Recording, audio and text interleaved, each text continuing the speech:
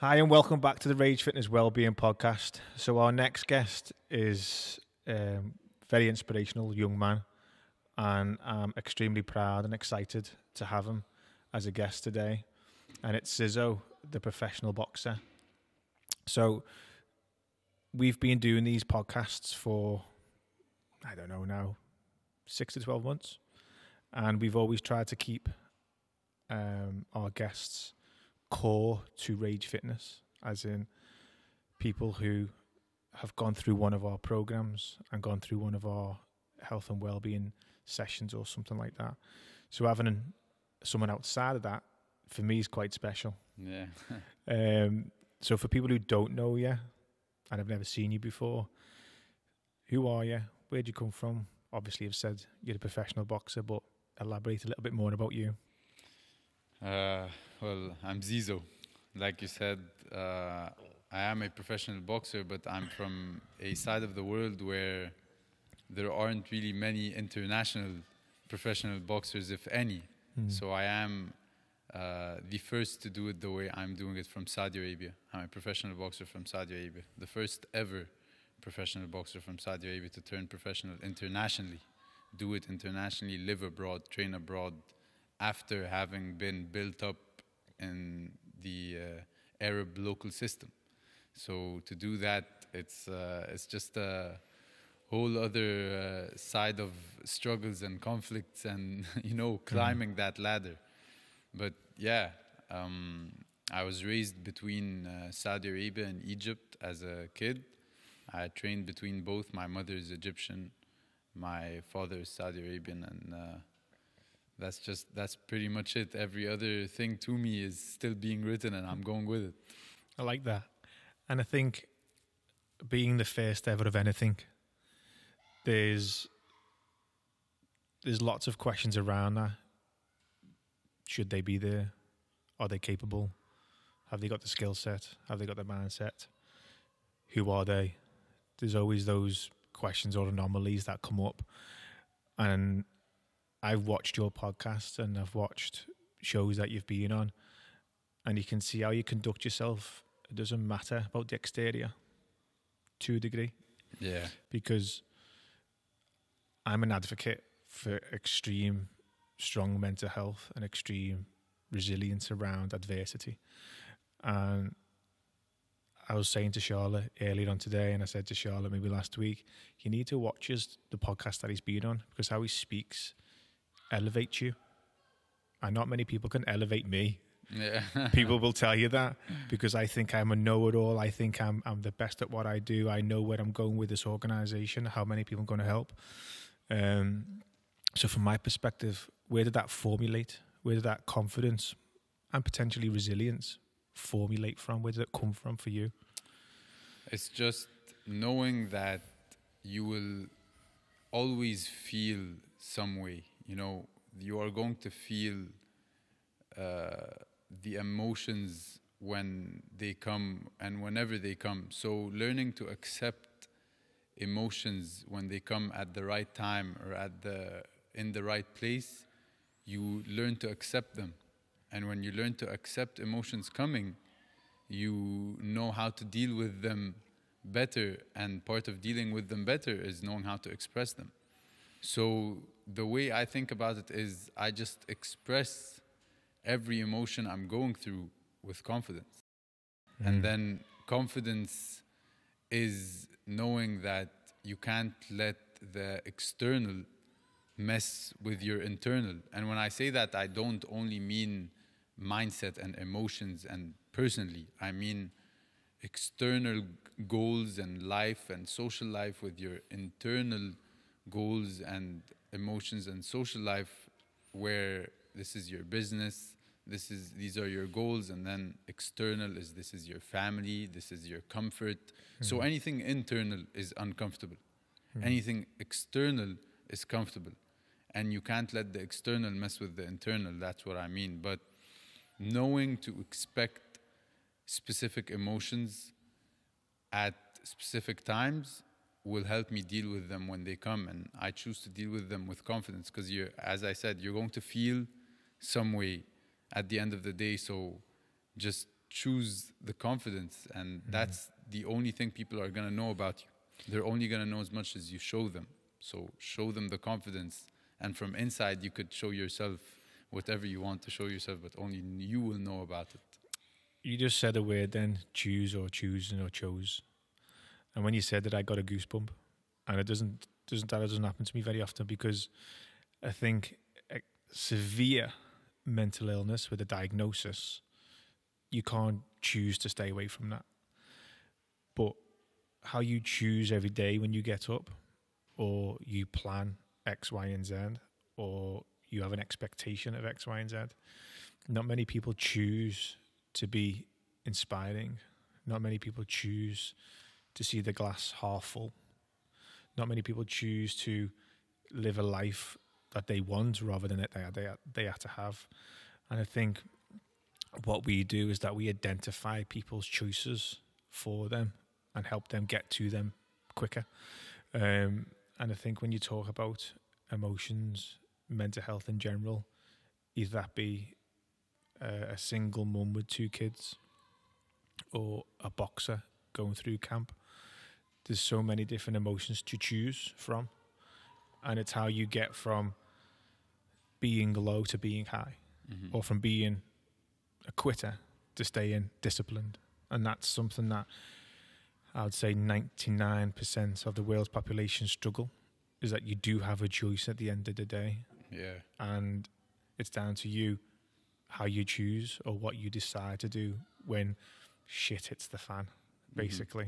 Mhm. Um, I've, as I mentioned, I've listened to some of the podcasts, and th- people have asked you this question, but you haven't actually answered it. In my opinion, is that you, you're a boxer, and I've watched I watched your last fight. Congratulations, by the way. Um, he come out at you like a rocket, didn't he? he yeah, was he was yeah. crazy. Yeah. Yeah, he was. I was sitting there going, "Wow." Yeah. Um, why did you be want? Why did you want to become a boxer? It was just because of the amount of history that's yet to be written in it. that so you no saw the has- opportunity. Yeah. The amount of history that is yet to be written in boxing for the Arab world and that no one has really done yet, that's what made me choose boxing. That's what made me, I wouldn't want to say that's what made me choose boxing. That's what made me still stick to boxing until mm-hmm. today. Because to choose one thing is one thing, and to stick to it is another. You need, Definitely. yeah, you need many other reasons to stick to something once you've chosen that, and only one reason, one reason to choose something and to just mm-hmm. go towards it. So it's the amount of history to be written in the sport, and then I've always seen myself as someone who wants to deliver a message to to the world and especially my side of the world a message of unity a message of peace a message of enthusiasm and personality and all that. And the only way to do that is to get to a stage in my life where people are going to listen to me. And uh, i i saw that the way to do that for me was through boxing.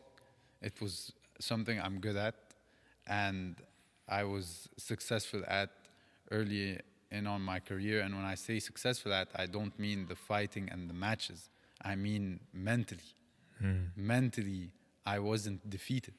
Even if I was defeated by the external factors in which how a fight will go, I won or lost. Mentally, I was never defeated in terms of am I going to still keep going? Am I going to still advocate and say my side of the story and send my messages, all that, you know? So, And I, th- I think you said the word unity, and not many people say that word often enough. I don't think you talk about conflict within the world, either that be wars or territory or neighborhoods for whatever reason. Um, there's not, an, I believe, there's not enough love, which equals there's not enough connection. So your home is miles away from where you are currently, and I've got the privilege to speak to you. it's, Through- my privilege, really. We've got the privilege to speak about stuff that we're both passionate about. Yeah. to me, that's remarkable that we can do that. From where I've come from, live a bit, living in Liverpool, in Anfield, having lots of negatives from my upbringing, to then build a space that people feel safe enough and an organisation that can that's helped hundreds of thousands of people to then sit across from yourself. That in itself was already unified so many different cultures Yeah. and different nationalities with one purpose around improving overall well-being, Mhm, mhm. bringing people together to, as I always say, improve lives and make a difference. Even Yeah. if this helps one individual speaking about you or us, then so be it. And I think that's quite a special thing, even when you're in camp, to come and take your time and, and do this when you want to maybe just chill out Yeah. and just be in your own box for a bit. Yeah, yeah, So uh, that, I think that's already is is a is a big thing that we're doing. Yeah, but like I said, you know, podcasts are for me therapy sessions. And Definitely. whenever I feel like I need a therapy session and I have an opportunity to do a podcast, it's to share my therapy session mm. with whoever is going to tune in and listen, and hopefully the largest amount of people I can. So when one goes through something, they know that someone else they mm. watch every day or they look up to or there's doing something that is different. They're going through the same thing. Mm. And uh, you said earlier that people are going to sometimes need to understand that they have a choice and they can choose to look at the cup half full or they can choose to feel one way or another. But what is even more important is knowing and accepting that it is okay to feel both perspectives mm. of the emotions that you are going to go through at a specific time. When you are going through a stressful time, you need to stop trying to push away the stressful emotions once they hit and only start leaning towards and accepting the good emotions and the comfortable emotions, as they say, because then where's the growth? Mm-hmm. And then once you choose to accept and understand that because I'm going through a stressful period of time, it is okay to feel stressful. You will know how to deal with it better because you've accepted it, you've welcomed it, and now you're just rolling with the emotions. But patience, you know, just with patience, you learn to know that one day, not even one day, one hour you're going to feel good, mm. one hour you're going to feel bad, and it's not going to work if you're only going to accept one emotion over the other. You have to accept both. So you know how to deal with both emotions, know how to deal with yourself and understand yourself when you're feeling bad, when you're feeling sad, when you're feeling low, and learn how to accept and deal with yourself when you're feeling good, you're feeling happy, and you're feeling stress free. But both of them, you're going to have to know more about yourself. And to know more about yourself, you have to grow mentally. And to grow mentally, you have to be put in uncomfortable situations. And to be put in uncomfortable mm. situations, you have to accept being put in them. And that's the most important thing. It's to not choose one way to feel over the other. It's to learn. It's to choose to accept to feel both perspectives and all emotions that are going to come through the time period you are in now. Because at the end of the day, that is all we own. The time you are in now. Mm. You don't own tomorrow because it's not promised, and you don't own yesterday because it's gone. Mm-hmm. So the only thing you own is now and being able to accept the emotions, all of them, that you're going to go through now. I completely agree with everything that you just said, by the way. Yeah. and I think something that when you were speaking, every time you mentioned something, I was thinking about this is that I believe a lot around energy, either that be positive or negative. And it's up to the individual to choose whatever that means for them. yeah, I don't try and put my beliefs onto you exactly. or to the audience or to our members. It's about you know when you're feeling positive and you know when you're feeling negative hmm and how that energy comes out of you. For example, if I'm driving and I cut in front of somebody and they're effing and jeffing because I put them at risk or they might have a kid in the car or whatever, the, that energy that they feel, anger, frustration, how dare they, that is going with them to the journey, either Mhm. that be to work, drop the kid off, whatever. Mhm. If you allow your mind to focus on that energy for a certain time period, an hour, two hours, whatever, you've got the capacity to reflect and control and choose to remove that negative energy out. Um, and I think it's massively important to identify that because how many people I use this word quite quite on purpose. How many people can you infect with that negative energy?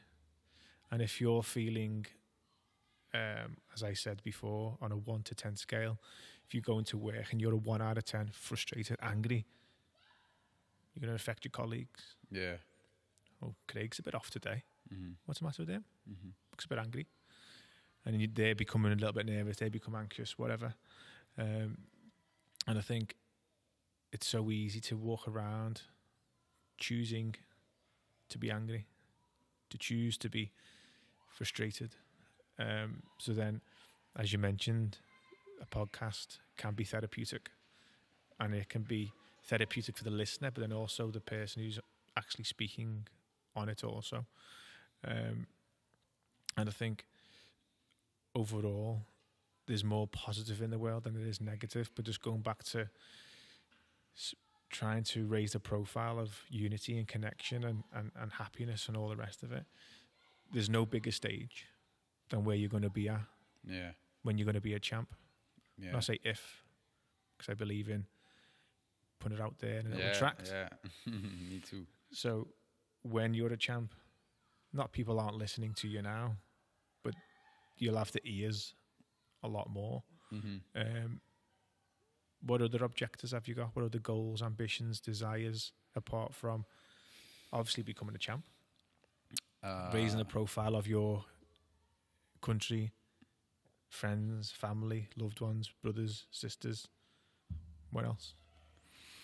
It's just for me, um, my biggest objective would be to always have something that no one can ever take away from me. Mm. So I go through a lot of a lot of stuff in the sport, mentally more than I do physically, and then some days physically more than I do mentally. But overall, the ride is very mental, and I go through a lot, and I've went through a lot, coming where I've come from and what boxing system I've come up in to catch up and try to adapt to the boxing system I'm in now. So sometimes I can't help but feel that maybe when I'm set enough, when I'm a built enough figure, Mm. not necessarily a champ, but when I'm a built enough figure, maybe I want to step out of the sport. That's what I have. That's how I sometimes feel because Mm. of the struggles I go through in camp and preparing for fights and the pressure I'm under going into a fight. But then this is one side, and then the other side of me comes out and says, "But I'm put on a road right now Mm. where I could be the first world champion for Saudi Arabia and the Arab world. I could be the first undisputed world champion for Saudi Arabia and the Arab world. I could be the first ever. And when I say first, I mean the first ever. I could be the first multi-weight world champion. I could be the first undisputed and multi-weight world champ. So when I'm the first ever to do something, I can't help but think if I one day step away from the sport before I have accomplished all of that, Mm. how am I going to accept that there might be someone else that is going to come after me and accomplish all that I could have accomplished but chose to walk away Mm. just because I thought that, you know what, this is a, a tough sport and I go through too much to accomplish it. But having a tough day today, Yeah. Craig. I'm going to give it in. Exactly. So I can't I can't do that. How many years has the world existed? Hmm. How many years has boxing existed? And so why has no Arab accomplished what I want to accomplish? And why has no Arab be put in the road on the road in boxing to accomplish what I'm about to accomplish, God willing? So I can't step away from the sport before I accomplish all this. Or, like you said, I won't step away from the sport before I accomplish all that because this is something no one can ever take away from you. and it's it's going to require a lot and i'm going to go through a lot and i'm going to lose a lot and sacrifice a lot but i'm willing to go through all of that so when your name is said long after you're gone this is something nothing can buy and this is something nothing is not worth losing for And I think, as I mentioned before, energy, yeah definitely all that is extremely fucking positive energy. yeah How many yeah, children will you inspire? yeah exactly Just talk about children for a minute. yeah That's children. yeah And you can hear them shouting Yeah. in the playground next door. So we apologize for that. There's a, there's a playground next door and they're going crazy. So just talk about your. Uh, I'm going to re- refrain. If we're talking about legacy and how many children will see what you've done and go, if he can do it, I can do it. hmm And that's the philosophy that I do. So yeah uh, my a very quick background as me is that I was suicidal, I was a drug addict, I was alcoholic, I was homeless, and I come from a very deprived background. hmm So then now I'm in a position where we've got loads of different pieces of equipment, and we've got a facility like this, and we have members, and we've got people around the world following our programs. It's because I share my story from time to time about how far I've come physically, and more importantly, mentally. Because in the sp- space that I was, I wasn't a two out of ten. I was a fucking zero out of ten hmm and it's hard to get anybody beyond the five in that Yeah. area. So then you've got the capability, physically and mentally, to do what you, all what you've just mentioned. Yeah, we have tough days, and that's playing it down, hmm let's say. But then I think what you need to remember, just in general, is that the positive outweighs the negative. Yes, you sacrifice you overall, but then the legacy that comes for your country, nationality, religion will outweigh everything in that Yeah. in that sense. Plus, as as as I say in general, you're creating a blueprint. Yeah, and when That's you're saying bit. that, yeah, when you're saying that, when you're, I had to learn to accept on this journey that because I'm the first to do what I'm doing, I'm going to be the first to make a lot of mistakes, Yeah. and I have to be okay with that because Are you okay with that? I am okay with that. Hmm. At the moment, am I okay with that? No. But after the moment is gone, which again is all we own at that time, then I'm okay with it because uncomfortable situations is where the growth comes. And there are two things right now that are very important that I want to say. It's the first one is when in the heat of the moment, when in the heat of anger, when in the heat of sadness, when in the heat of depression, or when in the heat of a shocking moment, when it first comes, the first reaction has to be silence. And the second reaction has to be reflection. Hmm. And then comes the third reaction of expression. So the first one has to be silence because whatever you are going to say in the heat of the moment is never what you want to say, and it's never what you should say. And the second should be reflection, is because the third one is going to be expression. Hmm. So when you stay silent and you reflect in silence, when you reflect in isolation, even if it's, I'm talking, even if it's seconds, if hmm. you just stay silent for seconds and you reflect of the emotions you are going through right now and what you feel like you want to say, but should you say it, this is the reflection. Then comes the expression. The expression is I know what I feel like I want to say, but I know what I should be saying. And sometimes the best thing to say is nothing. Do you talking about you? Do you do that internally about yourself? So, let's say, for example, you're in camp and you're struggling. Do you become in the present moment to identify what's going on in your mind, to then reflect and then act ultimately? That's exactly what I always Do Do you do that all the time? I always do. And then whenever I feel like my mind is going to the future, hmm. and Which it does. yeah, and it- Oh. which is the, which it it will go there either you like it or not. Hmm. either and the more you push it away, the more it will keep going there. It's like higher. Yeah, but when you reflect and you know it's going there because you are about to approach a very important outcome or period or meeting, then it's okay that your mind is going to go to the future. Mm-hmm. But all you can do is limit the time it goes into the future. But you can't limit it from going to the future at all. And then another thing I want to speak about, and you were just talking about that, relating to what you were talking about in speaking about what you go through and inspiring others. It's that we are given two choices that we really know nothing about, and not many people know anything about these two choices. They only think there's one choice. Hmm. What if, just think about it. What if you change your mindset from going that you are the one to be rescued hmm. to going that you are the rescuer? So after you go through something, if you change your mentality from I need to be rescued to I need to start rescuing because of what you have just went through. So if you went through a tough period in your time in your in your life, now you're given two roads to walk.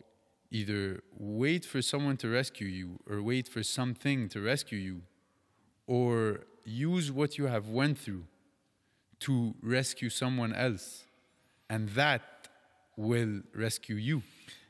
And I think that's what, like, again, I've, I've agreed with Evan so far. Yeah. Um, and I do like challenging people, so it might be something in a minute. but from my perspective, is that my whole outfit of everything that I do, and I've never heard it in that in that in that analogy, is that I rescued myself. I didn't go to a health professional. I didn't go to any um, drug addiction counseling, rehab. I didn't go to any mental health professional. I got myself to this position by helping myself Mhm. ultimately Mhm. and then how we came about the entire company is that because I knew how low I was, I thought if I can help myself, I might be able to help somebody else, And that's it. and that's been happening ever since 2018, and then hence why we can be in this position having a chat and reflecting on what you're just saying is that that's exactly why I live and breathe. As I've just never said it in that way. So I appreciate that sentence, and I'm going to try and rob that and put it on my Instagram handle for like courtesy of me. yeah, no, but that that's again, that's it's one thing to choose to get up from what you've gotten up from, and it's another thing to choose to stick to it. Hmm. And that's what I mean by it's one thing that I chose boxing, and it's another that I chose to stick to it. I chose boxing because of the history that I want to write in it. But after going through so much in the sport of boxing and losing so much from the sport of boxing, what made me stick to it is what it will not only mean for me, but what it will mean for my family, what it will mean for everyone watching me. If I leave right now and if I give up, what message am I sending? Hmm. Who am I rescuing hmm. if I leave right now? Now, if I leave, if I give up, I'm the one that's supposed to be rescued. Yeah, I can't rescue anyone. yeah, You know, because what if what am I gonna go tell someone? Yeah, when you get to that point, that's it. I can't do that. So I am.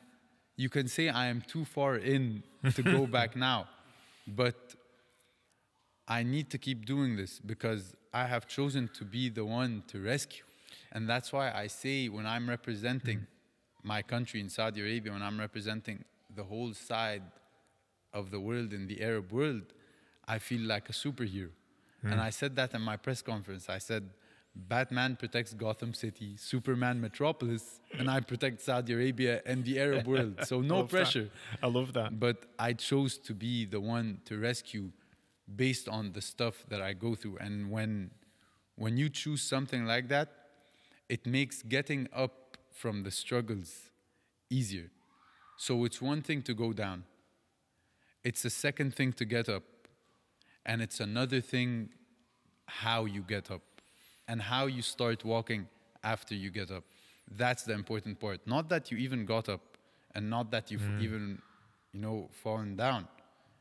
Mm-hmm. And people need to remember that sometimes when you fall in life and you get back up, you're going to need someone to teach you how to walk again. Yeah. Like how you were taught how to walk in the beginning. And that's why I'm going to go to the part where you said health professionals and therapy and sports psychology, whatever mm-hmm. it might be. I have a sports psychologist, I have a mental performance coach, and it's okay to have a therapist. It's okay to talk to a mental health professional because we're not taught to eat ourselves. Hmm. We're not taught to drink ourselves. We're not taught to do math ourselves. So, how are we expected to teach ourselves how to go through struggle and conflict and moments of sadness and that deep emotions? How are we expected to teach that to ourselves? There are professionals who are there to teach us, just like we are taught to walk and eat and drink. Mm. They are there to teach us on how to go through through these moments, and most importantly, they're there to teach us how to take advantage of these moments. That is why I always say, do not wait for something wrong to happen in your life before you talk to someone about it Yeah. Talk to someone about how to deal with a problem that might go wrong in your life. So when it comes, you've expected it. And when you expect something that comes, it doesn't shock you. And that's why I always say leaning on mental health professionals is never something that we should be ashamed of. Speaking on either mental health professionals or your mate or sports psychologist, mental health is massively important in what we do and everything else. And I think it's a critical component of being a human being because to to truly improve, as you say, I've got a son now, Billy. He's on the poster behind you. I'm learning so much about family. I've never really put much value on family. I guess where I've come from, so it's took a lot for me um, to one become a dad and to be well. I think I am be a successful dad mm-hmm. or father, guider, and everything that I've learned, I hope I can pass that knowledge on to Billy to be have a bulletproof mindset, even in even in adversity, and how to bounce back, get up, and then move forward. Mm-hmm. I think that's one of my best attributes as a dad to Billy Yeah. because if I didn't go through my challenges, I wouldn't be half a dad that I am to Billy. Mm-hmm. And you mentioned before about taking a taking time, be present, to then ultimately improve whatever aspect you're doing. When I first had Billy, um, I struggled hugely to connect with him, build a relationship with him. Um, and something that I read, I think, was to be present in the moment of when you're with him. Um, don't see a distraction. Oh, don't do that. It's about being present with them. And anytime I'm around them now, and I think it's rubbed off in other aspects of with different relationships, is that being present within yourself or within a relationship or being in, in front of a child, um, that's the best thing that can that I can that you can do, regardless of anything, is being present, which then builds connection and builds relationships.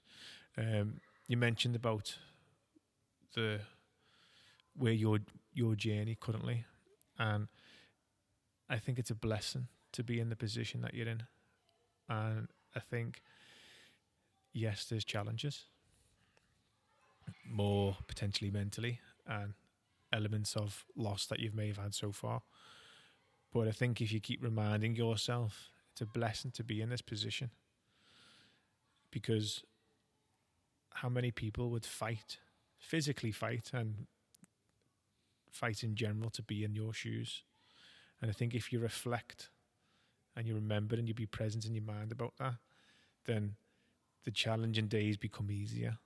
I'm not saying it's going to be easier. Mm-hmm. I'm not going to say it's it's a 10 out of 10, I can't cope, and it's going down to one, it might go down to a seven. Yeah. Like, oh, it's a little bit, little bit Yeah. better to remember. It's a blessing. Mhm. Um, so you touched on them, which I think would be good to elaborate on. You mentioned that the challenges and losses outside of the fights or outside of the ring. What are those to get to be in the position that you're in currently? It's the, you know, the sacrifices and the losses of being with family, being Mhm. around family, being in my country, being around my culture, just even being able to call my family, being able to talk to my parents because of the difference in time zones. So usually, whenever I go through a very tough day or a very bad day in training, or I've just managed to get nothing right of what I was asked for from my coach, it hits me emotionally, just because of the expectations and the pressure I'm on going into a fight. And usually, when that happens in training camp, it's usually around the evening or at night when you're done mm-hmm. with all the training. And this is where everyone is asleep back home because mm-hmm. of the time zone. And most of my time is in the United States, and my family's all back home in Saudi Arabia or in Egypt. So everyone's asleep by then. Mm-hmm. So who are you going to talk to? Who are you going to lean on? It's these moments where you're gonna go through it by yourself. And it's these moments where you're gonna go through it by yourself well once you understand and accept that you can't go through it by yourself. So just accepting and mm-hmm. knowing that you can be there for you. You can talk to you and you can help you. You know what I mean? So mm-hmm. it's at those times where you're going to grow because there's nothing more uncomfortable than going through something and having no one to lean on. Mm-hmm. So this is where the growth comes. And there's something I heard a while ago, and it really hit me, it hit me deep. It's that you have in your personality, in your life, you unlock new levels of capabilities under times of stress. Hmm. So it's when you're put in times of stress and when you're put under immense pressure and time periods in your life, this is where you unlock new capabilities and new levels Yeah. of thinking, reflection, expression. This is where you unlock all of this. So once you look at stressful times and struggles and difficulties from that perspective of something new is about to get unlocked in me, you start looking forward to them. You start looking forward to the stressful moments Yeah. because you look forward to after the stressful moment. And we tend to fear stressful moments and struggles and difficulties that we've already went through. We tend to fear going through them again because we think we are going to be the same person when you go through something again once you've already went through it. But that is not true. That that, that is not true. I think I um I heard Joe Rogan talking about levels of life. Yeah. And Yeah. I think when you're in the zone or in that space, you don't see it as an opportunity of successful Mhm. growth. You Mhm. see it as whatever the situation is, and you're struggling to even get outside of your own box Yeah. to achieve and get Yeah. up, get on with it. But touching upon that, I put myself now in, in difficult situations to feel that what am I capable of? hmm And that's what we do with people who we support and help. And just touching on that, if you're in camp and you're struggling, just give me a bell. Yeah. I'll get you from a zero to a fucking 10 in half an hour. yeah, do you know what I mean? yeah. Say, Craig, struggling, you know, fucking hell. Give me a buzz, I'll get you out of your box. Um, and I think, but you know, I'm always asked in camp, mm, I'm always asked the day after a bad day, how are you feeling? And I always say good. Oh, you feeling good? Yeah, I'm feeling good because better is always good. mm, You know, so how are you feeling today? I'm feeling better, and better is good. So that is how I always look at it. So the challenges and the struggles, I, I will go through them and I will accept going through them only because I know they are preparing me for the final outcome. And that's how you have to look at everything in your life. Whenever you go through a stressful period or a conflict, you need to know that the emotions you are going to build going through that moment is what is going to lead you to go through the outcome and to get an outcome that you are wanting or you are going to want. Because when you go through something in the present moment now, it's not necessarily to help you tomorrow. And hmm. it's not necessarily to help you next month or next year.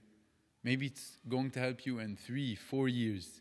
Maybe when you go through such a tough, tough math teacher in high school that's always disliked you and was biased against you, maybe that's pre- to prepare you for the real estate job that you are going to mm. have where the boss just thinks you are not that good or they Or- just dislike you. That prepares you for years ahead. Or the haters, The haters, yeah. That's the that's always- naysayers, because I guess in your field, I'm sure there's critics.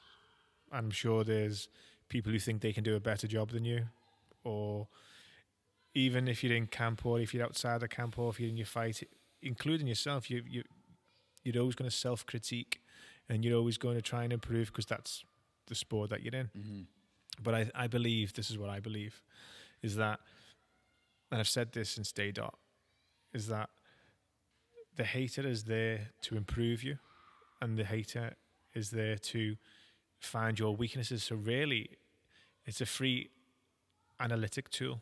It's a free way of going. Oh, I'm not doing this so good. Okay, I'll work on that. Mhm. Um, and whatever comment they say, or something that you might hear in the press, or something that you might hear um, outside, wherever you are, is that you would you absorb it. You you be in the press and go, okay, I'll work on that. I'll improve on that. Um, and I think it's it's an opportunity to basically improve overall. That's what I Yeah. think. So you've mentioned a couple of your your objectives and goals and wants. Um, from your point of view, what's the the importance of goals?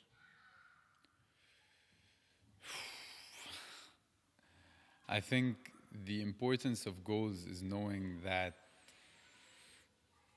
they will always change and accepting that when you have a goal, it's knowing that you want to reach that goal, but how you will reach that goal, when you will reach that goal, will always change. It, one day you'll think you'll reach that goal next month. And then when next month comes, that goal is going to be a year away. So when you set a goal, you need to understand that the time it's going to take and how you'll get to that goal might change. And when that happens, the goal itself might change. So goals are there to keep you going. For how long to keep you going, that's not up to you. And how to keep you going, that's not up to you. So you need to look at you have to look at it from this side. It's where the controllables and the uncontrollables come. Before the night of the fight, I sleep like a baby. Like a baby. yeah. But before the weigh in, I don't get a minute of sleep. Not because of the weigh in, not because of the weight or the food. It's because I think at the time of the weigh in, everything I can control is then done. After the weigh in, when it's time to fight, the controllables are much less. What I can control in the fight is much less. It's only minimal to me. Hmm. But what happens at the weigh-ins is the face-off. Hmm. And when the face-off when the face-off comes, I can look my opponent dead in the eye and express my message that I want to express, regardless of how I'm feeling on the inside. But what I choose to express on the outside and what I know I want my opponent to feel or what I want him to feel like I'm feeling, mm. fight night, I can express now at the weigh ins, at the face off. So, this is why I love the face off because then my work is done. Then everything I can control is done. I've looked you in the eye. I've sent that message of I'm not here to play, I'm here to stay. And tomorrow is going to be either a hard night or a fast night. you got to choose. Well, based No. on your, based on your last fight, You did really well. Just give him a little. But these are the controllables. Mm. These are the controllables. After that, you did control that fight as well. I mean, at the beginning, I couldn't control it. He was a, he was crazy. yeah, but these are all the controllables. Now I've controlled everything. Now I've delivered all the messages I can. Fight night, what is written is written. And what you can control is minimal to what you can do. You can't control what he does. You can't change what he does. All that you will only change and control based on how you control mm-hmm. yourself. And at the end of the day, that's just a 50 50. Mm-hmm. But before all that, these are the controllables. So when setting goals, when setting targets to reach, you need to also understand and reflect on the goals and the targets and the controllables that come with them. So I've set this goal and I've set that target. But what are the controllables? It's A, B, and C. Okay, I understand. Now, when the uncontrollables hit, you need to understand that you can't control that. I've had a friend call me a few weeks ago, and uh, that person was telling me that they have so many exams coming up and they just feel so stressed. They feel so, so stressed. They're unable to control the external factors that they go through, if it's mental health or if they're recovering from a specific diagnosis, and that this stress that's coming from the exams is really giving them a hard time in their life. And so I said, I replied like this, and I said, Aunt. Hmm. And she said, "Well, I'm stressed. I don't know what to do. I was like, You are stressed hmm. because this is a stressful period. Accept that, roll with it. And once you tell yourself, it's okay that I'm stressed because it is natural when you are going through a stressful period to feel stressed. So once you tell yourself that this is okay, this is why I'm feeling stressed, then instead of pushing it away, it's going to stay longer. But when you learn to accept it and roll with it, maybe it will stay the same amount of time, but you will mm-hmm. know how to deal with it better. And then you'll feel like it's not even there. So these are the controllables knowing what you can control and what you can't. Feeling stressed in a stressful time, that mm-hmm. is something you can't control. No. But how you accept it is something you can control. And I think, speaking about you, and I was hoping we could get onto this topic, is that you're on the undercard for Tommy Fury and Yeah, Jake Paul, the dream. and you're fighting in your home country, That's the dream. which is really exciting. Yeah. I can't even. I'm not good enough at anything to do it for my home country. Um, if it's around, if you can get an award, I have actually won an award, haven't I? I've won an award, but if I can do it on a national level and and do health helping people Yeah. with the physical mental health, I would think I would win that award. But I don't think that's a natural thing. But to do what you're about to do on a big bloody stage is one stressful, I would imagine, um, and two stresses come out in many different forms. Either that be anxiety, overthinking, lack of performance, um, being closed, not really wanting to engage. How are you dealing with the current stresses leading up to the next? Is it seven days? Yeah. Yeah, seven Yeah, days. Seven days. How are you managing that at the minute? How are you str- are you managing the stress levels? Are you flowing through it? Are you trying to be present, but it's still eating at you? How are you dealing with it at the minute? So it's knowing that the way I think about it is why am I stressed? So I'm going through such a stressful period of time because I'm about to perform in front of thousands of people on one of the biggest international stages of boxing. Hmm. When I say that, that's a blessing. So it's a good stress to have. It's a good problem to have. Why am I under pressure? Maybe because I'm writing history that night, hmm. being the first ever from my country, and to do it again in front of them. Okay, that's good pressure to have. So, what's making me deal with that stress and pressure is when my head bounces between doubt, fear, and confidence, I accept all, all of them. And I like to go through all of them because I'm teaching myself that what I'm gonna go through now is preparing me for the bigger and bigger stages that I'll go through later. Hmm.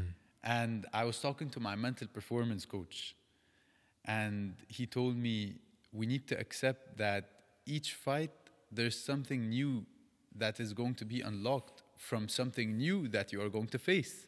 Hmm. And he said for this fight, the the new thing you are going to face is maybe knowing less about your opponent or having a better opponent. Or if it's your later on at the night so the arena's full and packed. You're like, yeah. Or people are expecting a performance based on your last performance. Hmm. So i think in general though this is how i'm dealing with it and how i'm going through with it when i'm put in a situation to inspire and i always say i aspire to inspire. Hmm. When i'm put in that situation i just love the stress that goes with it. And i said you can't love only the high and avoid the low. Hmm. I love the low and i love the high but i just like to be truthful and honest with myself. Before I got to the before I got in the car coming here, I told Jordan I was like, I th- I'm gonna be silent in the car. Mm. My head is just at this hour. This is where my head is at, and I think I might be a little switched off in the car if that's okay. But this is not only be being honest with Jordan; it's being honest with myself, Yeah. and knowing that it's okay. That's okay. I'm seven days away from a very big fight. Mm-hmm. I'm going through a lot mentally, and when I say go through a lot, I don't mean just bad. I mean even the good. Mm. But with excitement comes pressure, and hmm. with pres- with pressure comes excitement, and that's okay. But in general, when you are going through something stressful or when you are going through a lot of pressure, I think the best way to think about it is the person you are going to become after you go through that stress and after you go through that pressure. And that's just how I look about it. So when you was talking, and I, I, I think about this all the time. I don't really say it out loud much. I call I I call things good problems, Yeah. and I'll give you a, a story. Is that at one of my lowest points, uh, Tesco's supermarket used to sell a chocolate bar for eleven pence. It was about this big, and it had about I don't know eight hundred calories in, and that's all I ate every day for a long period of time. So the amount of sugar and negative calories and all the rest of it, I survived on chocolate bars for a good few weeks because I didn't have any other source of income. Obviously, when you've got a billy and you've got an organisation and you've got lots of staff to look after, lots of things can happen throughout the day that can be what I call a good problem because it's not really a problem. It's how Yeah. you it's how you see it. It's how you believe in it. Exactly. Yes, the stakes that you're at going into the next seven days with on the biggest stage, I can't even imagine what that would be like. I think it'd be amazing, Mhm. but I think it'd be amazing. But I'm not in your shoes. I don't have to go in that fucking ring. You know I mean? I can just watch on the TV, going, "Go on, lad." I'm, I'm sitting there with me popcorn, just watching. Uh, it's that's a good problem to have. Yeah, and something else also is in deep times of stress and in deep times of struggle, conflicts, or pressure, something we really need to involve in our lives is a distraction. And if it's a hobby, if it's uh, movies, if it's music, if it's something or someone, you always need to have a distraction. And what happens when you have a big and good distraction is you learn that part of containing your emotions is to sometimes let them out. But when you let them out at your hobby or when you hmm. let them out at your distraction, it's better than letting them out on something or someone that you care about hmm. in terms of someone you can hurt or something that you could affect. But when you're, say, your hobby is art Hmm. and you're feeling horrible today and you learn to lean on your distraction and that is your hobby, which is art, you're gonna go and start painting. Hmm. Your distraction is music. You're gonna go and listen to the type of music you are feeling to listen to when you're going through these emotions. If it's a movie, if it's an activity, if it's a sport, whatever it is. So when going through stress and pressure, having a distraction is very important because when you go through the emotions that you really want to express in anger or in sadness, then you express it on your hobby instead of expressing it on someone, you know? What's your So- distraction? My distraction is the movies, movies and music. What honestly. movies do you like? What's your favorite movie? all, all kinds All- of all movies. kinds. But, uh, but I, I like drama. Drama. I like drama, yeah, and I like you know just true stories and stuff like that. Mm-hmm. That's what I lean towards. But for me, going into fight week, because I've been through so much again mentally outside of the sport more than inside of the sport, and I've chosen to learn from it. I now know myself better. Mm. And going into fight week, I always have my childhood friends with me, and they're two, you know. Mm-hmm.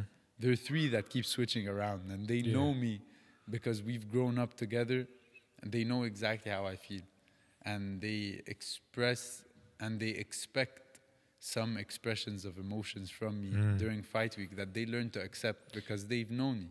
and you're in that safe space then as well, aren't you? Exactly, And that's where that's where you need to be at to So, be at your yeah. best is in a safe Yeah, space. That's my distraction. They come with me fight week.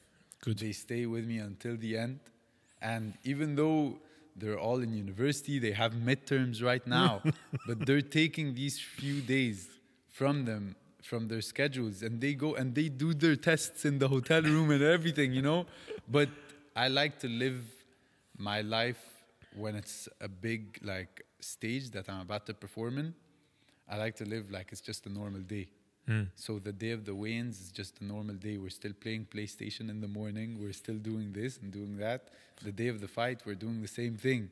So the more normal it is for me in terms of the people I have around me, the more normal I feel what I'm about to do is normal.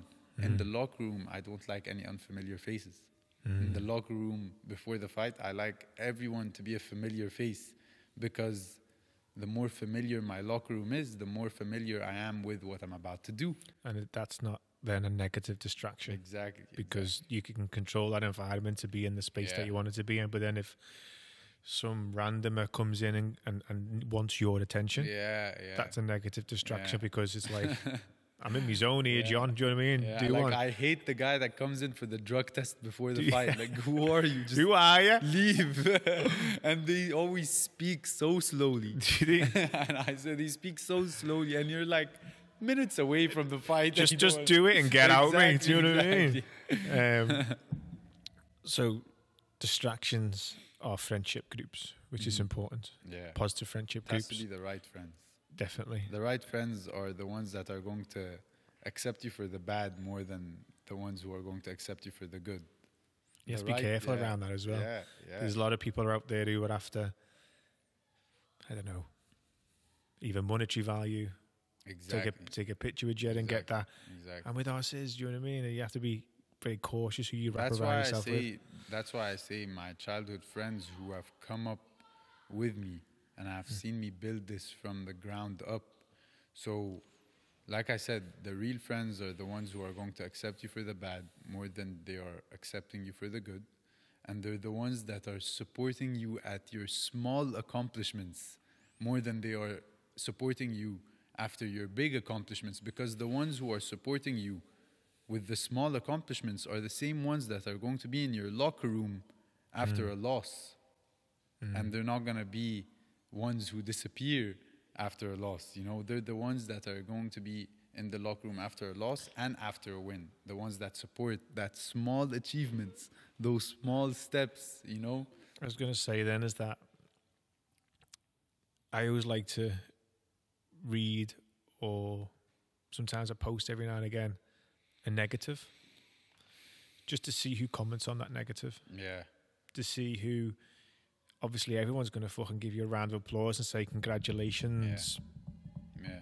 on your post if you win, hmm or if you lose, or if it's a draw on any sort. I don't just mean that towards boxing. I mean a Mhm. win in business. Yeah, yeah, A win with the child. I, I believe Billy is a blessing. yeah. He is. He's a miracle baby. Um, but every now and again, I post something that's a negative, just to see who's going to come to your aid, or Mhm, not necessarily comment, but message. Say, mhm. "You right, Craig? You all Mhm. right? Yeah, I'm Sam." Just want to see who's who's the realists out there. Yeah. Ultimately, I'm sure you're probably doing this, and I don't know how much the sport's developed in your country at the minute. mhm. I've never been to your country, so I don't know. Mhm. I've I've researched enough Yeah, yeah. about you and how you've used to train Yeah. but I don't know where it's at currently. Um, but I think it'll be really humbling and keeping you focused, even though you don't need it, and disciplined and motivated, and all those words to see, go back and see what's happening. yeah. I always do. I'm sure you do. I, I go back whenever I'm back home. I'm training there. Oh yeah, Yeah, I'm always You get to training see it. there. Yeah, I'm always training with my same coaches, same everything because it's just this is where I came from. Hmm. And this is if I've come this far starting there, then there's no no reason why I can't maintain where I am by being there. You So- know, so Some people do get distra- negatively distracted, yeah, don't they? yeah, yeah, yeah. And I guess with Buddy now, he's he's improving you at a rate, and you do need that Yeah. obviously. And I think that comes with winning and being on a bigger stage. Yeah. Some people do get distracted and forget yeah, where they come from. yeah, Um, even now, I, I live in a. I, I call it a mansion. It's actually not a mansion. Yeah. it's not a mansion, but from where I've come from, yeah, it's a fucking mansion yeah, yeah. That's I understand when me, you say it- that. it's yeah. big. Um, and then when I go back to Liverpool, I always, uh, even if I'm nowhere near it, Mm-hmm. I always drive down the road where I used to live Mm-hmm. and just feel it. Yeah, yeah, Not from a negative sense, but from a humbling sense. yeah, And knowing Definitely. that this is where I've come from. Yeah. And we need to remember my ambition, Mm-hmm. and I'm getting closer to it every day, Mm-hmm. is to, is to build one of these centres in Liverpool. Yeah, and we're getting there and we're pretty close. Because yes we do physical training but we all ha- also have a huge amount of support around mental health with Yeah, yeah, yeah, professionals. Yeah, and a few other and a few other services. Um, and I understand the need in my own city is massive mm-hmm. because not everyone trusts the health professionals not everyone trusts Yeah, going to the doctors and all the rest exactly. of it so to have an alternative support mechanism and give someone a, an opportunity to look after Mhm. themselves rather than going down a clinical route, it's massively needed. yeah, so definitely. that's why I'm going to them spaces to like just know how important it is to get back there. And I guess when you're doing your training within those spaces, you remember this is why I'm doing it, Exactly. and this is why I want to get back. Yeah, So you was going to raise a point before. yeah. Um, What was that? going back to talking about, you know, that real friends and real people. It's just to know that at the end of the day, whoever goes is meant to go, and Mhm. whoever stays is meant to stay. And it's just thinking about it from where some people come into your life for a season, Mm. and some people come into your life for a reason. And from each person that you are going to get to know, from each person you are going to go through something with, you are going to learn something from. And just to know that will make you accept any outcome of any situation or scenario you go through with anyone or you go in with anyone. So uh, that's just how I, I like to think of it because I've been through many situations in my life. I've had many people come and I've had many people go. And it's the people that go that you learn most from. And so when you realize that you learn most mm. from the people that go, you don't start resenting it and you don't even start resenting them. Mm. And you end up making it easier for yourself to forgive. Because when you forgive something for someone, it's to make the fire in you calm down. Hmm. You know, when you forgive something for when you forgive someone for something they did, usually when you forgive them, it's not even for them. Hmm. It's for you. It's for you to calm down. It's for you to move on. It's for you to be happier, healthier, and to live a calmer and a stress-free life. But when you hold a grudge, Hmm. who is it going to affect at the end? The person you are not forgiving, the person you are resenting, and the person you are holding a grudge against right now is sleeping fine at night. It's you that you're losing sleep. It's you that is having trust issues. It's you that is keeping yourself closed off from people because of what someone else did to you. Not everyone is the same. And I will always say this and I'll keep saying it is you will never be the same person you were before you walked into the storm after you've come out of it. Mm-hmm. And part of that is knowing that once you walk through that same storm again, because that same storm will come, you will go into more than one relationship and you will have more than one friendship that will result in the same outcome. But how you dealt with yourself after the first outcome will never be the same as how you are going to deal with yourself after the second outcome. You are a different person. You have unlocked different capabilities in you after you have went through that time of stress because like I said, times of stress hmm. unlocks new levels and capabilities in you. So when you unlock new levels and capabilities, once you go through something that you have already went through once, you already know how to deal with it. You know more about it. And most importantly, you know more about you. You know how you are going to feel after you go through a breakup. You know how you are going to feel after you go through a lost friendship. So when you expect something, it doesn't shock you when it comes, and you will deal with it. That's what I was going to say. Is that the ultimate thing that I think about in that scenario? Again, is a blessing. Is that it identifies areas of opportunity, either that from a lost relationship or someone doing you negatively mm. or something that goes on social media. It identifies who they are and it'll bring out the best in you normally Yeah, because there's a reason that they would only here for a season rather than exactly. longevity because Yeah. if if they're here for longevity who knows what that outcome could be in 12 months because they only should have been here for six months hmm and it, it always identifies areas of opportunity for you to either improve or get better at that's the idea behind Yeah. it ultimately Well, just talking about, you know, friends, relationship, friendships, and people leaving and people going, it's knowing that these are, again, all external factors. Hmm. So when you're setting goals and when you're setting targets and ambitions, either, these are all internal factors.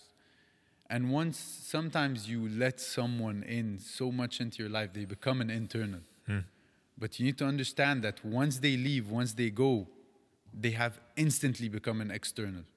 Mm-hmm. Even if the feelings you are going to feel about them are internal, they cannot affect the rest of the internal factors. They are now external. Your sadness about them cannot affect what you are doing to chase your internal factors and your goals and your targets. So, another part of when you're setting goals and targets is not only knowing the controllables and uncontrollables, but it's also knowing that external factors cannot affect them when they become internal factors, you know? So, it's just knowing that your goals are always going to be internal.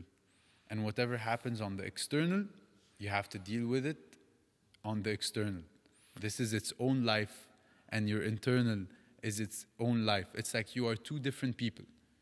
The you who's chasing greatness and chasing a success is different from the you who is in a friendship or in a relationship that's gone wrong or is going extra good. You know, it's that uh, thing where um, I was listening to Tom Hanks speak, mm. and he said he wished he knew earlier in his life that this too shall pass. Mm. And it's always important to know in your life that this too shall pass. Is something going good for you? Is something going great for you? This too shall pass. It's not only the bad. Mm. So if something bad, if something for you is going bad or you're going through a difficult time, this too shall pass. Is it going good? Is it going great? This too will pass. So just know that mm-hmm. you only own moments in time. and moments in time are there to be passed. Mm-hmm. And once they are passed, don't hang on to the emotions that were in that moment of time. Because if you end up hanging on to these emotions that were there in these moments of time, after they are gone, you're going to find yourself living in the past. And when you live in the past, you can never make it to the future. And that ultimately results in depression or anxiety. Exactly. Vice exactly. versa. Because you end up chasing emotions that are no longer there. And you you- end up chasing hmm. that high and that adrenaline or whatever it is. or push away or. Exactly. You've ne- you are trying to still feel that emotion after that moment in time that has given you that emotion is now gone. So hmm. instead of you chasing that emotion and working towards it again, you are trying to find it even though you haven't worked for it. It's it's it's like when for me, for example, after my pro debut, that was a high. Hmm. After that knockout, that was a high. You're getting the messages, you're getting the hype, you're getting the media, but because I understood that I'm only getting this and I'm only feeling this type hmm. of way because this is the moment of time that's causing these emotions and reactions. After it was gone, I've learned to accept it. And you end up chasing that same feeling again. And that, to me, that is something amazing in sports. I love boxing. For example, football, they, they play three times a week, so they're always in sight. And when mm-hmm. you're inside, you're in mind. And when you're out of sight, you're out of mind. Mm-hmm. In boxing, I love that idea of out of sight, out of mind, because we are more out of sight mm-hmm. than in other sports. But when we are in sight, it's big. Massive. Yeah. But when you're out of sight, you're also out of mind. And that keeps you grounded. That keeps you working. That keeps you pushing and that keeps you humble. Because the same people and the amount of people that were talking about you when you were in sight and in mind doing incredible stuff are not going to be talking about you the week after the fight. Mm-hmm. And when you're preparing for two months after for your next fight, no one's talking to you or about you then. No one's going like, wow, look at what he's accomplishing in sparring. no one cares. Yeah. But that's good for me as a boxer because that keeps me grounded, that keeps me humble, and that keeps me just chasing something more and more and more. And it keeps me wanting to improve because the next time I'm in sight, I have to make sure I stay in mind for longer because of my mm. performance, you know? And I think that, in summary, overall, is that if you look at you as a person, you've got your own personal objectives and ambitions. Mm-hmm. But I think the world, either from a boxing standpoint, or either that be from a cultural standpoint or a region, Yeah. you are destined. I think boxing is your enabler to do something bigger. Yeah. That's what I believe. From listening and, and seeing who you are and listen to how you speak about yourself, box, boxing is your transportation to get to unity, love, camaraderie, safety, designing a blueprint. hmm Obviously, from a selfish point of view, I don't really use that way from very often, but everyone in, on some level has got their own personal ambitions, which be, could be Yeah, classified as yeah. selfish. Is that you become the best in the world? And who doesn't want to be the best in the world? Or doesn't wanna be something. Do you know what I mean? world? Yeah. We all want to be able to to to work hard, to put the effort in, have the lows, have the highs, Mhm. but you have the lows to get the highs, and it's important to acknowledge that. Um, And it's important to know that sometimes it's better to be the best person in the world than to be the best fighter in the world, the best Mm. businessman in the world. So, and that's what I always say. I, and I make sure it's in my contracts sometimes for fights or long term contracts. It's that there are fighters who fight many, many times a year, maybe eight, nine times a year, especially at the level I'm at when you're just starting. But I was maybe given different opportunities where I don't have to fight that many times a year because of the exposure I get based on the cards and, and shows I'm put on, thank God, before everything. Um, but what I want to go into is to me, who I am as a person and my identity is what matters most at the end of the day. I have a duty to my parents. I hmm. have a duty to give back to them and to take care of them.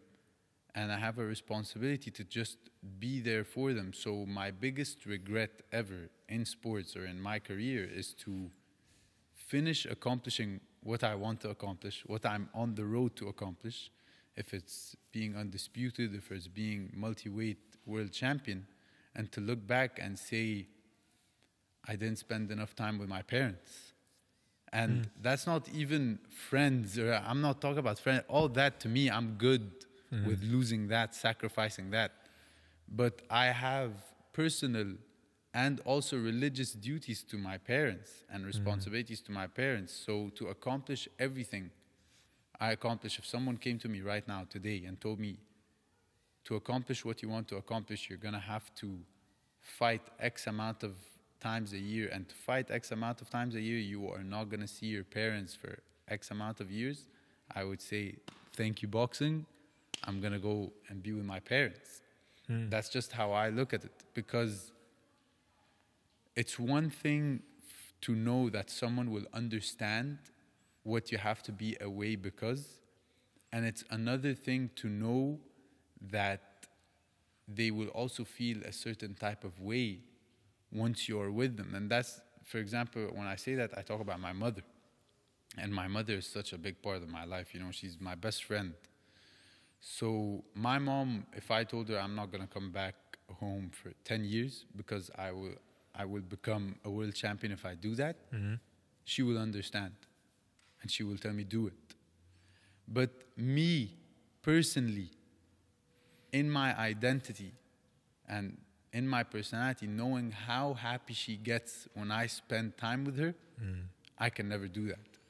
And religiously, the way I look at it is if I give back to my parents, if my parents are happy, life is going to keep me happy.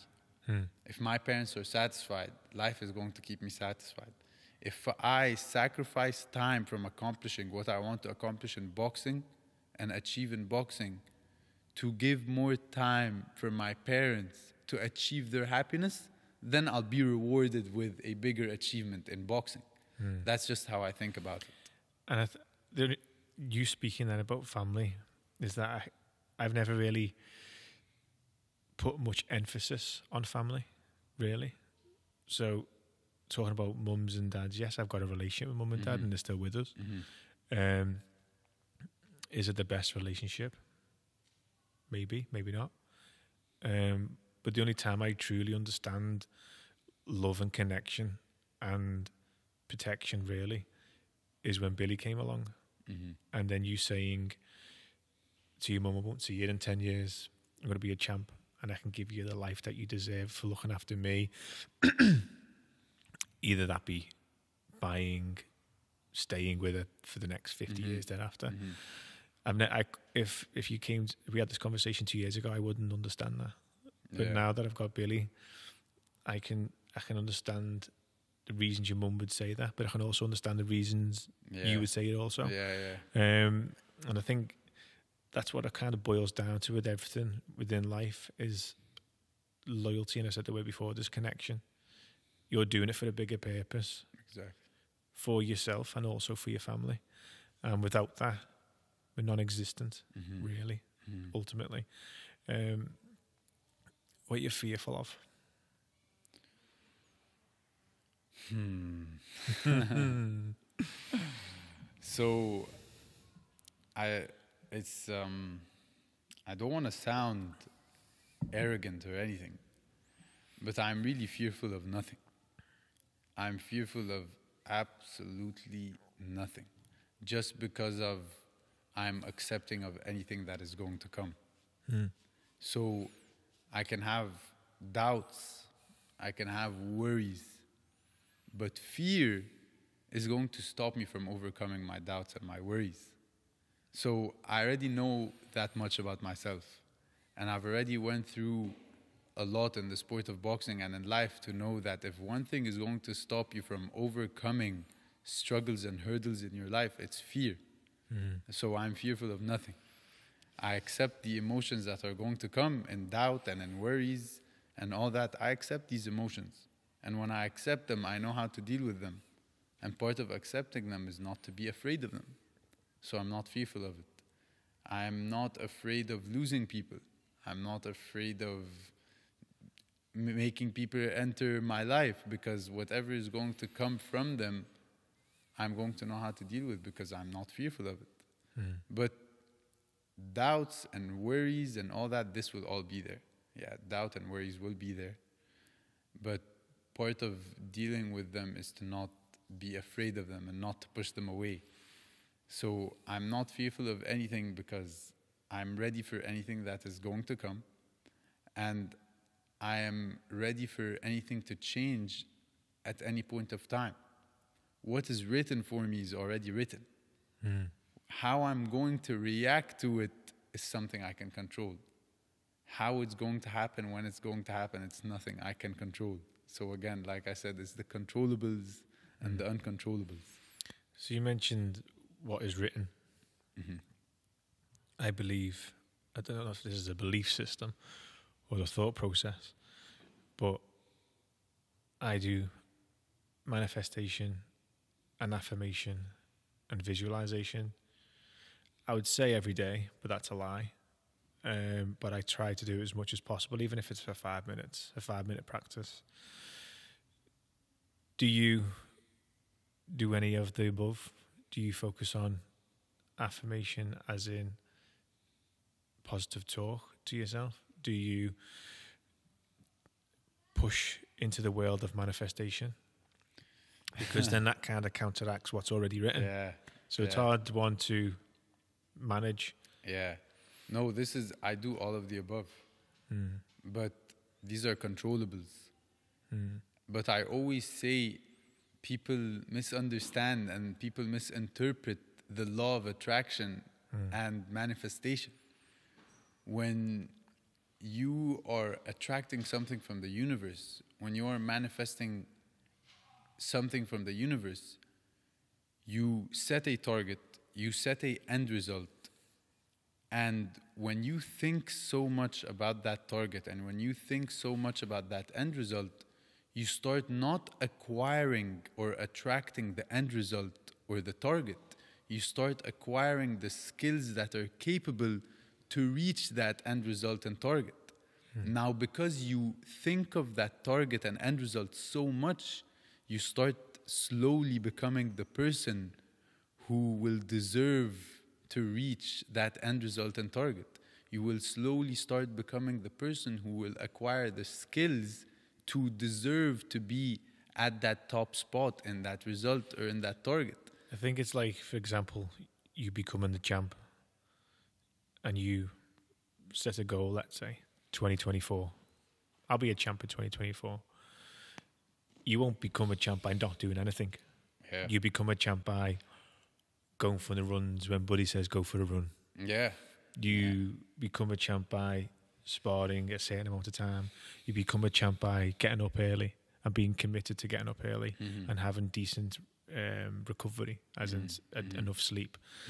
If you're up till 11 o'clock and you're getting up at 11 o'clock, you're missing out windows of opportunity. So then you would go to bed earlier, you get up earlier, and you'll be on that regimented path of becoming a champ. Yeah. And that's part of um, manifesting the success and becoming Yeah. that champ overall. That is the law of attraction, and that is manifestation. Just the law of attraction is attracting the capabilities required for your end result, not the end result itself. Mm. You reaching the end result will depend on you, will depend on what you can control. All the uncontrollables you can't control. But what you can control is the skills that you can acquire to reach that end result. The end result, that is already written, whether you reach it or not. But know that you will only reach a specific end result and you will only reach a specific target once you deserve to reach it. Sometimes you're not only convincing other people that you deserve to be in that spot, sometimes you're also going to have to convince the universe. You're Hmm. going to have to convince that energy in the environment that you deserve to be in that job or in that position and you deserve to be there by the work you've put in, by the skills you've acquired. That is the law of attraction. Do you ever feel like you'd have to convince yourself the positions that you're in? Because I know Uh, I do I mean, at times. do if I have to convince myself, do I deserve to be in the position I put in? hmm Yeah, of course, of course. But I have to convince myself by the work I put in. Yeah. And again, I was talking to my mental performance coach about this when I first started camp.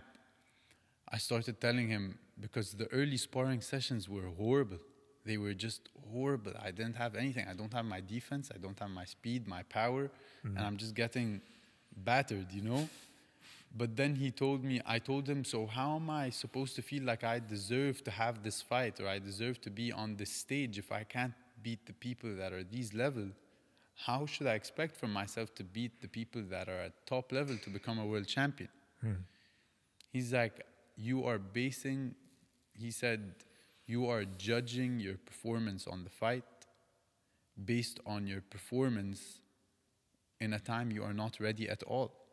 Hmm. He said, look back again after two months, once you're completely done with camp, and then say, do I deserve to be at the stage I'm at? So it's, it's one thing to convince yourself that you deserve to be in the position you are, and it's another thing to choose when to start questioning and convincing yourself that you deserve to be in the position you are. Because now, if you tell me, do I deserve to be in that fight I'm about to go in? I'll tell you, I deserve to win that fight. I deserve to knock him out. So because exactly because I'm ready, because I've put in the work, I've went through it, and my defense is sound right now. You know, I'm not getting touched, I'm not getting hit. So it's like this is this is this is something that's exciting, you know. So it's okay to sometimes misjudge and and just think of yourself that you don't deserve to be there. It's just the wrong timing. And I think deserving to be somewhere or deserving to uh, take something from it is part of the conversation. But then I think we were talking off camera about your overall mental well being leading into the next 7 days. And you've just answered your own question. Like, Yeah, you deserve to be in this position. yeah, Maybe at the start of the eight weeks, why am I here? yeah, horrendous. I shouldn't be in this position. Yeah, But now you're defending, you're moving a bit more, Mhm, you, you, you, you're on it. yeah, You are becoming that rounded fighter for this fight. yeah. Um, doesn't matter around the other outside noise outside of the ring or the opportunities that may come up. For you, it's this fight. Exactly. You deserve to be in this fight. And like you just said, you'll smash him. Yeah, so it doesn't really yeah, matter. very- Anything else that comes into it, you just have to just keep, as we said before, reflecting on that Mhm. and being present in the moment Yeah. of I am who I am. Yep. I deserve to be in this position, and you will win the fight ultimately. Exactly. innit? God willing. We spoke about a little bit already, um, and I think it's obvious to everyone. How important is it for you to have passion in anything that you do? I think it's the most important thing to have too. passion in what you do. Deep, deep down, you need to have passion in what you do and what you are running to achieve. Now, don't expect that passion to be there every day because when you start looking for the passion, it's not going to be there. The passion is only going to be there in the days where you're not looking for it. But once you start looking for the passion, it's going to disappear. So don't expect it to be there every day, but expect it to be there at the right time. Hmm. Because in your journey to success, it's going to take so much more out of you than just doing it for yourself to actually make it and to actually stick to it. You're going to have to be doing it for so many other reasons. And so many other reasons are going to be linked to passion. This is where passion comes in. Hmm. When you're passionate about something, it's for multiple reasons. That is real passion. And so when one reason goes down one day, there's another reason that keeps it there. And there's another reason that might keep it there when another one goes down that day. So don't look for the passion, don't expect it to be there every day, but it's important to be passionate about what you want to reach because at the right time, at the right difficult time, when it's almost time to quit, because you're gonna feel like you're gonna mm-hmm. wanna quit, you're going to want to quit many, many days, but then because you are so passionate about that time, you are not going to quit. And when I say you are not going to quit, I don't mean that you are not going to temporarily quit. Mm. It's okay to temporarily quit. It's okay to say, I'm going to walk away and walk away for a day, a week, a month, or three, or a year. But the passion will make you come back. And you only truly quit once you have stopped coming back, once you stop getting up after you've fallen. When you quit, you fall. If you don't get back up, you didn't come back. You, mm. you have, you've actually quit. But the passion will keep you coming back, and that's why it's important. So I agree with what you're saying there around passion, as in there's multiple factors of passion. So my team is a passion, Billy's a passion, um, the people who we've not yet met to serve is a passion. Yep. Um, in your equation of passion, I can probably guarantee family is part of that. Um, your country, Mm-hmm. your yeah. religion. yeah. Are you part of the equation of it? I'm gonna be honest with you, and so many people are gonna disagree with me on this. I am the least part of the equation mm. to me, but not because I care, I'm the least to care about it. It's because when I say I am the least part of the equation, it's because I alone have played the least amount of like role mm. to come where I have come now. My family, for me, like when you ask me who am I, what am I made of? I'm made of my family, made of my country, and I'm made of my religion. This is who I am as a person. So when I say I'm the least importance for that equation, it's because these these factors are who I am. Hmm. My parents, such a big part of my life. My religion, a big part of my life. My country, a big, big part of my life. This is who I am. But me alone, me just, I didn't do this alone. This is selfish for me to say. Hmm. And I am not going to do this alone. That's why I hate the word I. Hmm. I don't use it. I will say we a lot, you know, because I'll say my country, I'll say my family, I- I'll keep saying that. So this is something I'm passionate about, yeah. But on the road I'm on for boxing, for wanting to achieve what I want to achieve, doing it and seeing my parents happy will make me happier than doing it for me. Seeing my country happy and inspiring millions of people, that makes me so happy. I think you know? think is the population. Uh, this might change. I, I, I read it maybe a week ago. Is it forty to fifty million? The population, That's in Saudi Arabia. yeah, of your. And then in Egypt, it's 100 million. I'm gonna say And then it's Turkey, it's whatever million. Morocco, it's whatever million. When I'm telling you a whole side of the world. and then from the, religion aspect, Yeah, exactly. And then the religious aspect, how many people? Billions. Billions. So, Billions. So it's it's an immense hmm. amount of weight that I'm carrying on my shoulders going into every single fight. But it's that weight that keeps me grounded, literally. Hmm. And it's that weight that gives me so much power in knocking an opponent out. You know what I mean? It's just And I, my those- my back is against the wall, and I like the pressure because the pressure makes it better. You know. So, listening so far, you've you've got a clear, hopefully a clear blueprint about creating a legacy, and to me that's inspirational because that's what I want to do for people to improve physically, mentally, emotionally. Um, do you have anyone, or did you did you have anyone as a role model when you first started out, or still have today, who you look up to? Yeah, honestly, I did. And uh, before I get into it, you know, I had to come to realize that sometimes we struggle so much in finding role models or in finding idols because we look so far away. When I say so far away, we look to the people who we have absolutely no connection to or have accomplished what we want to accomplish, but we are not connected to. You know, that's why it's maybe harder to idolize or to make them role models because we don't know them, they don't know us. What you don't know is sometimes your role models and your idols are much closer than you think. They're actually just right over your shoulder, you know? Mm-hmm.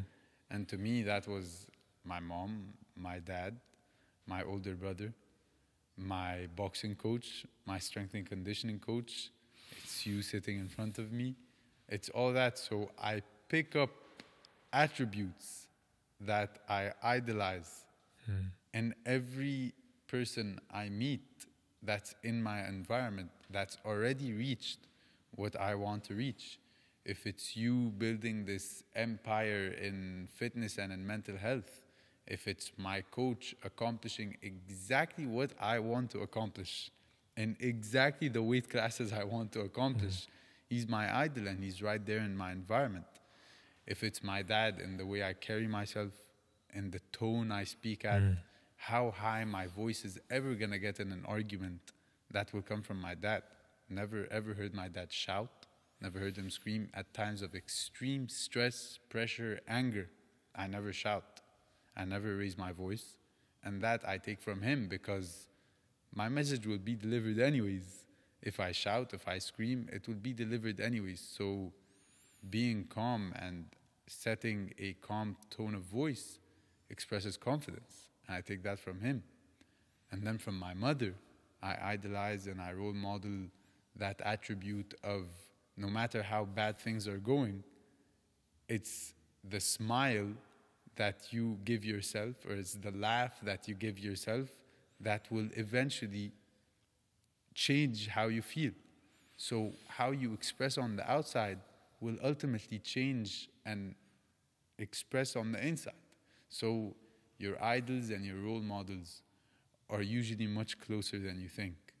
So, that's who I look up to, and that's who I idolize. And these are the people that have set the blueprint for me and set my personality to, God willing, create that legacy that I want to do. And I think that's very touching because, as you say, you always look to the unreachables. Exactly. Someone who is so far away from you, you don't know who they are. Ultimately, Mhm. you know as much as they portray. So, having that way of looking at it as role models and and having family, and now I'm within that mix. It's I'm same to you. You're a role model and as an inspiration to, to the levels you're going to get to, and the, the kids you're going to inspire and help without you even knowing you're helping. That that's that's Mhm. truly a role model. Um, and I think that's a fantastic way to end.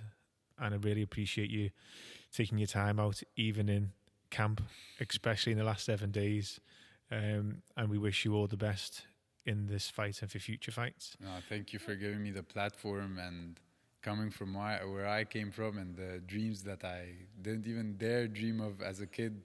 Doing this stuff now, I never get used to it. No matter how many podcasts or interviews or sit downs I do, it's always new to me and it's always just uh, a dreaming of feeling when I finish one. So thank you for giving me the platform and thank you for sending that message out there. I really appreciate it. Thank you. Thank you.